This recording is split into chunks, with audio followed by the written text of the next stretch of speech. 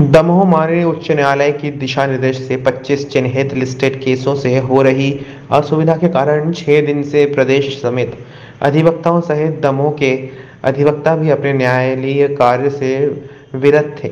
इन छह दिनों में अधिवक्ताओं ने ना ही न्यायालय कक्ष के अंदर प्रवेश किया और ना ही न्यायिक कार्य किया।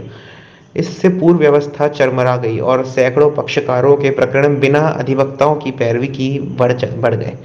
अब आज से अधिवक्ता अपने न्यायालीन कार्य सुचारू रूप से करेंगे।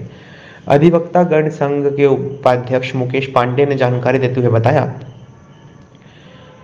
कि लिस्टेड केस से आ रही व्यावहारिक समस्याओं के समाधान हेतु माननीय मुख्यमंत्री न्याय, न्यायाधिपति सर्वोच्च न्यायालय ने स्वयं पहले कहते हुए, करते हुए मध्य प्रदेश राज्य अधिवक्ता परिषद के प्रतिनिधियों को वार्ता हेतु 29 मार्च को आमंत्रित किया है। अधिवक्ताओं को वार्ता सफल होने की आशा है, जिसके कारण आज से समस्त अधिवक्ता अपने न्यायिक कार्य पर वापस आ रहे हैं।